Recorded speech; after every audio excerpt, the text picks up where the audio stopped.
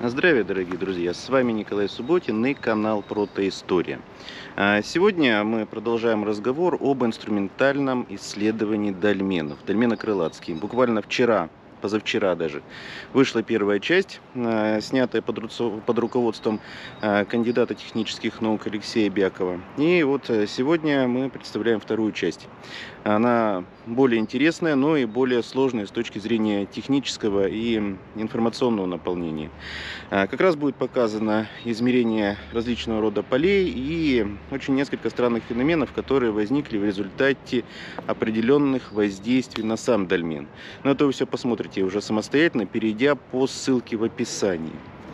Надо отметить, что мы на дольменах бывали несколько раз, проводили тоже свои измерения, исследования и несколько раз сталкивались с очень необычными эффектами.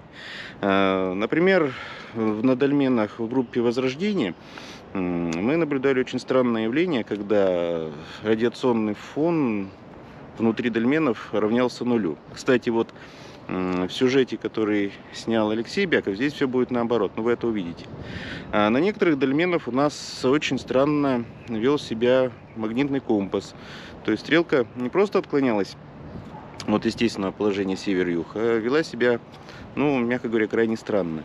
На некоторых дольменах у нас э, возникали очень интересные эффекты, связанные со звуком. То есть мы брали с собой э, вот эти вот тибетские чаши, которые, если там, по краюшку поводить специальной палочкой, начинают издавать очень приятный вибрирующий звук. Так вот, на некоторых дольменах у нас, как мы это сказали, дольмены начинали отзываться, откликаться, то есть возникало гудение.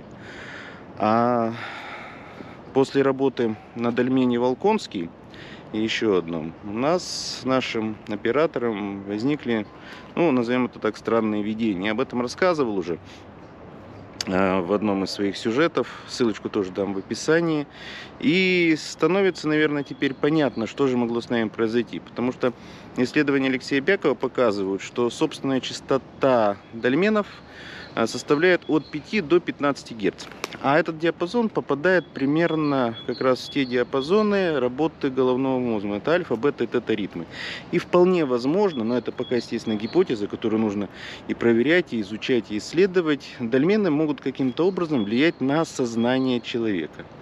А сейчас я покажу вам несколько отрывчиков из наших экспедиций, где как раз мы проводим замеры, исследования и различного рода эксперименты. Ну а еще раз напоминаю, что в описании вы найдете ссылку на вторую часть э, сюжета Алексея Бякова об инструментальном исследовании дельмена крылатой. Итак, вперед!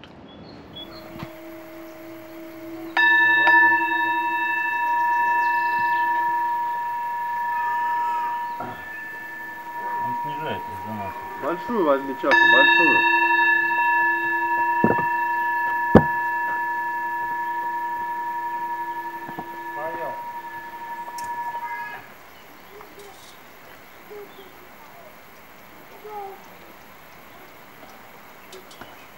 Из руки убери все.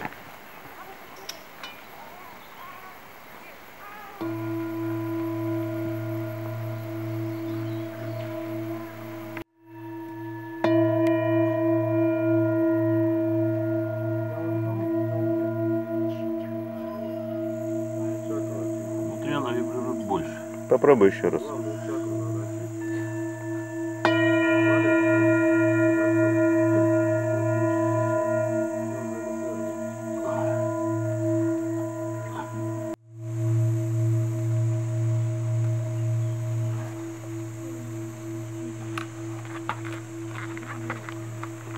Жалко, жены немножко нет. Ага. Мы сегодня работали, завтра собрались. Здесь находятся три дольмена, достаточно известные, которые часто посещаются туристами. И несколько интересных технологий, которые мы можем сразу наблюдать. Первая технология строительства дольменов – это, как мы предполагаем, вырубание компонентов из горной породы, что хорошо видно. Еще одна непонятная технология, которая очень похожа на блоки, которые можно наблюдать в комплексе Мачу-Пикчу.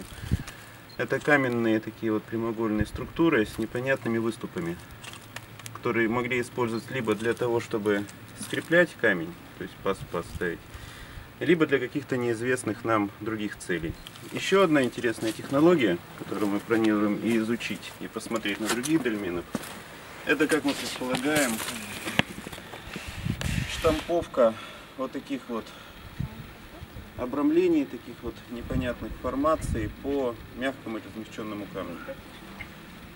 Внутри этого дольмена тоже находится очень интересная окантовка, вот такая же волнообразная. Очень похоже, что ее не вырубали, потому что не видно ни следов зубил, ни каких-либо других инструментов, но создается впечатление, что орнамент делали именно по мягкому камню.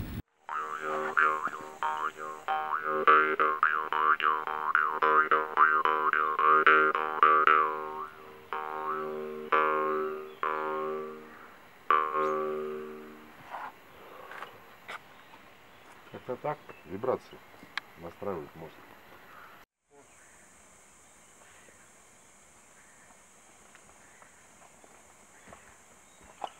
Вот мы наблюдаем блок со следами технологической обработки.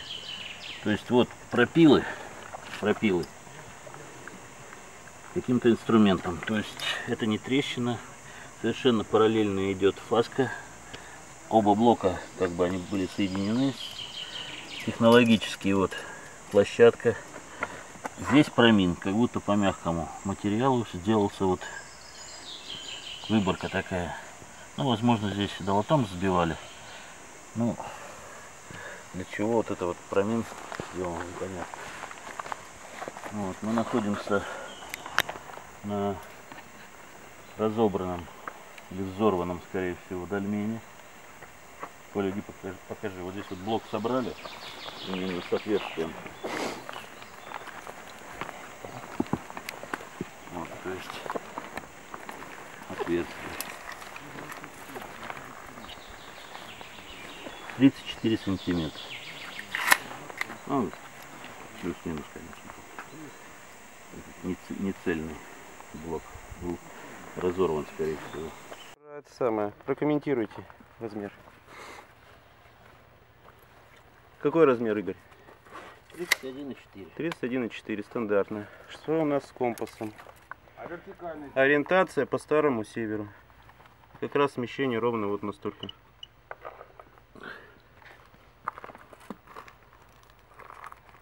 Мы тут заели. Зверь. Что показывает? Он пока вообще ничего не показывает.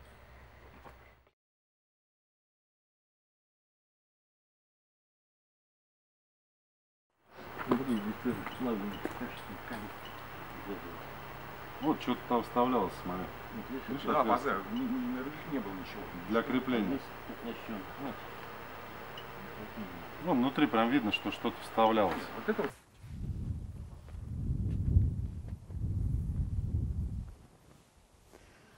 Один из немногих сохранившихся полумонолитных дольменов с крышкой. Опять видим следы какой-то непонятной пластилиновой технологии. Дольмен явно не, высыка, не высекали, а как будто бы лепили из глины. Особенно это хорошо заметно по краям. Как будто каким-то жидким материалом этот дольмен облепили с краев и получили вот такую странную форму. Ну давай посмотрим, погладим так вот. Вот тут можно показать, вот как раз.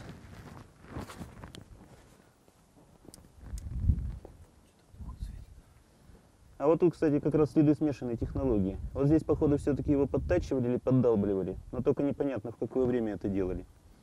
А вот здесь, вот, в нижней части, такое впечатление, что просто вот как какой-то или глина, или, может быть, это была какая-то смесь особая. Дольмен просто вот как формировали, лепили, как из куска пластилина, который потом застыл.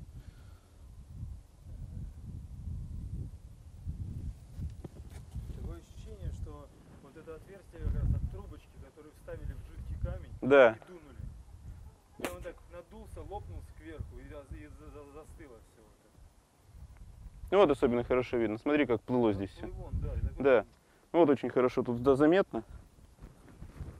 Геологи, конечно, скажут все по-своему, но Ну, тоже непонятная формация. То есть явно какой-то жидкий материал просто тек. А что это за материал? Ну, скорее всего, это песчаник, но почему вот он такую форму приобрел, и из-за чего он был такой пластичный, это, конечно, непонятно. Здесь вот тоже присутствуют следы пластичности, следы потеков. Вот они. Как раз хорошо видны на камне. Ну и сам дольмен действительно он слеплен, как будто, как будто просто какой-то великан взял кусок глины, как на гончарном кругу, слепил вот эту форму, а потом дал ей застыть.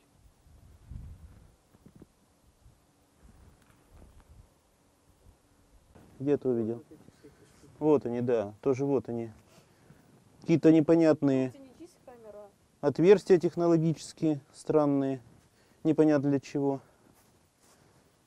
Причем достаточно глубокие. И толщина стенок по всему периметру дольмена одинаковая. Да. И толщина стенок по периметру всего дольмена одинаковая абсолютно. И опять же интересно, камера внутренняя, она скруглена. Дно оно как будто слегка полукруглое. И очень хорошо выглажены сочленения граней. Все-все круглое. Нет ни одного, нет ни одного острого угла. Вообще нет. То есть он такой мягко перетекающий. Везде плавные скругления. Углов острых нету. Даже у входа дольмена, вот у входа во внутреннюю камеру, сделано такое небольшое выравнивание, которое не создает опять же острого угла.